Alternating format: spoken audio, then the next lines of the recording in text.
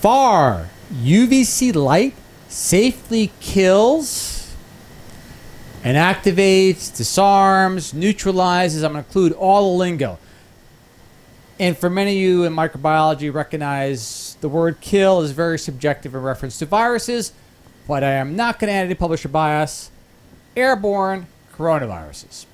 Now, it does not require an incredibly active imagination to recognize the impact of far UVC light that is actually safe to install in public places, such as movie theaters, hospitals, retirement homes, so on and so forth, that could be on when the place is occupied.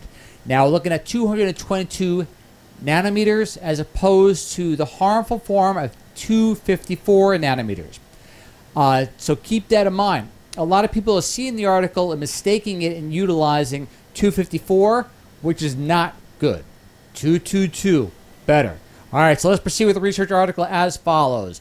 More than 99.9% of seasonal coronaviruses present in airborne droplets were killed when exposed to particular wavelength of ultraviolet light that is safe to use around humans.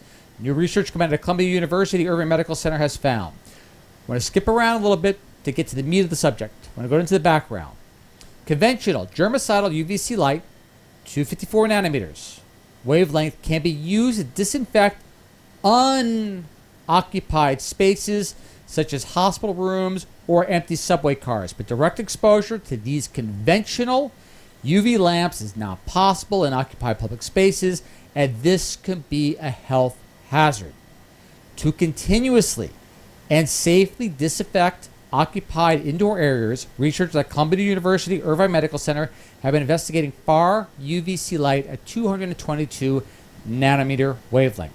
Far UVC light cannot penetrate tear layer of the eye or the outer dead cell layer of the skin, so it cannot reach or damage living cells in the body, which is just so eloquent in how it's fashioned in reference to, I shouldn't say fashioned, its result in basically harming what is harmful and keeping safe, which is you. To proceed, the researchers had previously shown that far UVC light can safely kill airborne influenza viruses. The new paper extends the research to seasonal coronaviruses, which are structurally similar to the SARS CoV 2 virus that causes COVID 19. I am going to show you the viruses that they used in a little bit, but I want you to keep in mind additional studies need to be done specifically on that particular virus on its own to see if it yields the same results. Although hypothetically it makes sense and should work, you have to validate first. In any case, the cool part about UVC 222 nanometer, far UVC 222 nanometer light, is it's been shown to work with influenza viruses and certain things along those lines. So it can yield a very, very promising, safe uh, anti pandemic measure uh, that can stop something before it could even get off the ground. No pun intended. To proceed as follows. As all human coronaviruses have similar genomic size, a key determinant of radiation sensitivity, it is likely that far UVC light will show comparable inactivation efficiency. Here we go. You ready? The researchers found that more than 99.9% of the exposed virus had been killed by this very low exposure to far UVC light. Based on their results, the researchers estimate that continuous exposure to far UVC light as a current regulatory limit and safe would kill 90% of airborne viruses in about 8 minutes, 95% in 11 minutes, 99% in 16 minutes, and 99.9% in about 25 minutes. Again, utilizing the word kill, subjective. All right, now I want to go back to the full study. Here we go. As to reiterate, as all human coronaviruses similar genomic size, a key determinant of radiation sensitivity, it is likely that far UVC light will show comparable inactiv- inactivation, efficiency, and if you look at the chart, you utilize, or see, I should say, the viruses that they used of comparable, of nature. Now to conclude, now we're going to get this information from the full study. I think it, it says it best. Also, too, keep in mind, as always, DOI links will be there for you to follow. This is a full published study. So as you follow a link, you're not just going to go to an abstract and go, well, where's the data? It is all there, very nicely done.